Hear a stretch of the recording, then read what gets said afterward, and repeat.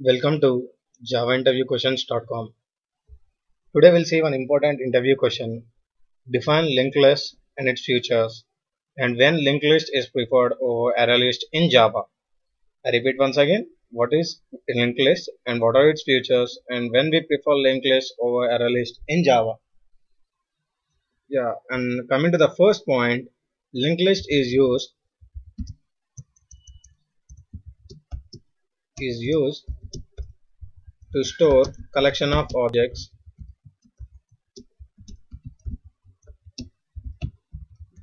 Similar to other collections like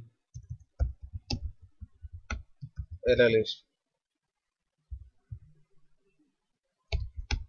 HashSet etc and the main purpose of linked list is used to store collection of objects similar to other collections like array list HashSet etc but the main differentiation comes in efficiency.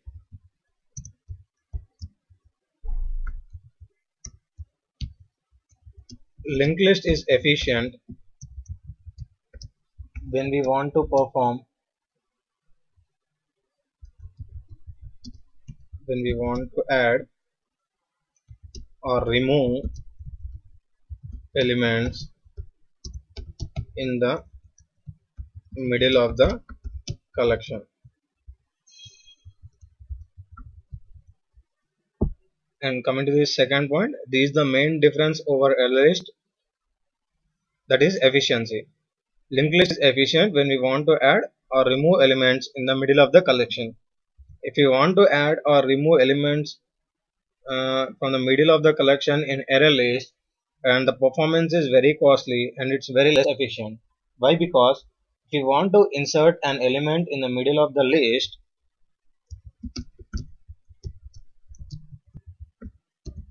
you want to insert element in the middle of the list middle of the array list we need to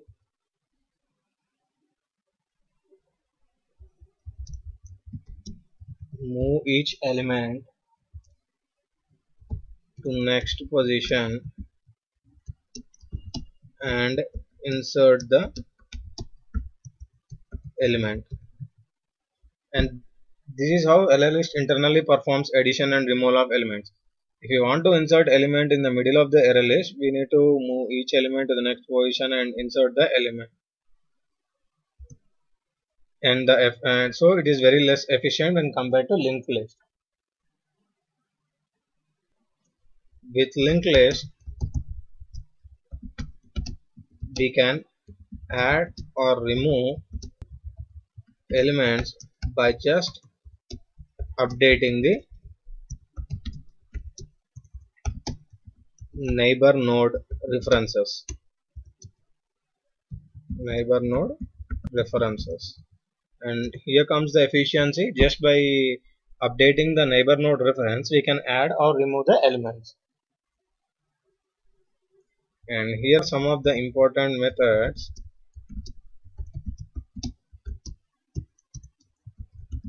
Methods in linked list first one is get first. Second one is get last. Get first will return the first element in the list. Get last will return the last element in the list. Remove first will remove first element in the list.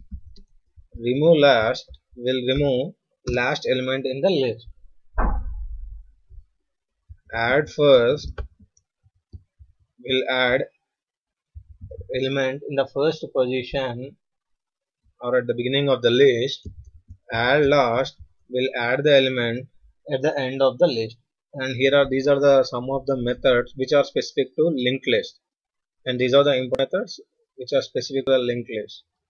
And coming to the drawback drawbacks of linked list here we have one drawback is when compared to array list linked list is slow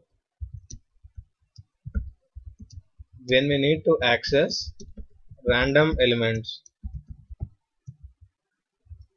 That means elements at random position.